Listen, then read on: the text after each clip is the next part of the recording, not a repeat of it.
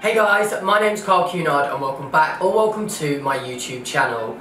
In today's video, I'm going to show you my top 5 fragrances that I've been using over the summer of 2018. In no particular order, the first fragrance I want to talk to you about is Sauvage by Dior. This has to be my favourite fragrance that I've been using over summer. It's just one of those colognes that you can use any time of the day, any time of the year, it just fits every occasion. I remember being on a night out and I could just smell this scent that just drew me in and I had to find out what it was and it was Sauvage by Dior. It's just one of those addictive sensual smells that just draws you in and if you're in a room with people it is definitely going to capture the attention of everyone around you and you just can't go wrong with it. The only thing that's bad about this fragrance is it's so good that it's so popular that you're not going to be the only one in the room wearing this fragrance. It's a very commercial cologne.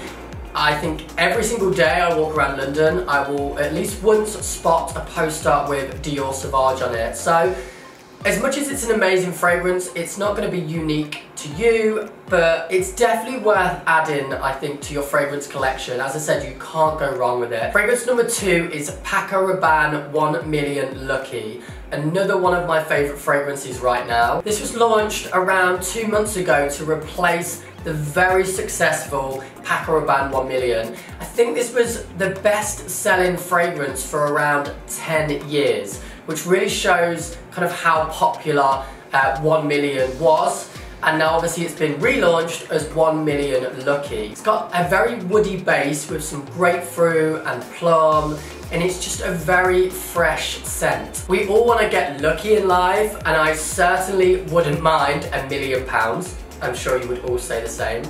And I feel like this fragrance makes me feel that way. It makes me want to seize my dreams. Now I know that might seem silly to all of you, but I feel like when I spray a fragrance, I like to see how it makes me feel. And I feel like if you close your eyes, it will give you that feeling. And I think the Paco Rabanne 1 Million Lucky makes me feel like I'm lucky and I'm ready to kind of get my head in the game. So yeah, I guess that's why it's made it into my top five. Fragrance number three is something a little bit different. It's John Varvatos, I think that's how you pronounce it, and it's called Artisan Pure. Now, I was introduced to this fragrance about, it was about the start of summer actually. I was in a meeting and again, I could smell this scent and I had to find out what it was. And it was actually the person who I was in a meeting with. I never ever heard of John Varvatos before. And I think that's what I like. I like when I discover a fragrance that you don't typically see every day on the shelves when you walk through a department store or when you're going through duty free at the airport. It's not a very commercial fragrance, even though John Varvatos actually has so many successful colognes in his collection, I just personally had not heard of him myself. But now I am certainly hooked. It literally, I'd probably say out of all five of these fragrances I'm going to show you, this one fits summer the best in my opinion. Now I know this might sound silly, again as I said, when I smell a scent, I like to see where it takes me and I feel like with the bottle and when I smell this one, I literally feel like I'm on a beach, the waves crashing, the sun shining, and yeah, back in the room, Carl. See, I get carried away, takes me away. But yeah, I really feel like this scent just fits summer perfectly with the waves crashing, the beach, the sun shining. What better feeling could you have from a scent for summer? So yeah, definitely worth checking out uh, this fragrance. So my fourth selected fragrance is Jo Malone Orange Bitters. If you've never been to a Jo Malone store before, you are missing out. It's like being 10 years old walking into a candy store. If you're really into finding your own unique scent and you want to find something that fits you perfectly, you need to go to a Jo Malone store. They have a cologne for everyone, for any time of the day. Literally, you will find your perfect cologne there. And they're very unique as well. They play around with flavors and different kind of flowers and yeah, it, literally if you go in there, it's like an experience. It's not just walking in, grabbing something off a shelf, you will have an experience walking in a Jo Malone store. Orange Bitters is a very sweet smell. To be honest, it's quite daring, how sweet it is. I don't think it's going to be a clone for everyone. Whereas me personally, I do like something very strong and very lasting and very sweet. Um, it definitely captures the attention of people around me, but it's not going to be for everyone because it is so strong. I would recommend you going into the store, as I said, finding out which one suits you best. This one personally, for me, makes me feel very summery. And finally, my fifth favourite fragrance for summer is Creed Aventus. Now, if you've never heard of this fragrance before, again, you are strongly missing out. Around five years ago now, I used to work for a PR company and I actually used to look after the brand Creed.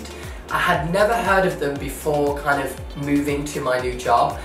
And when the cupboard opened and they said, we look after this brand Creed, pick whatever you want, I smelled Aventus and honestly, it is such, I, I wouldn't even say unique, it's such an incredible smell. It's the most captivating scent I think I've ever wore. I actually gave one to my dad and he is his favorite fragrance now in his collection as well. And it's definitely one for the single boys because I'm telling you now, if I ever wear Creed Aventus out on a night out, the girls come running. Every girl wants to know what you are wearing. I don't know what it is about it. It's such a sexual smell.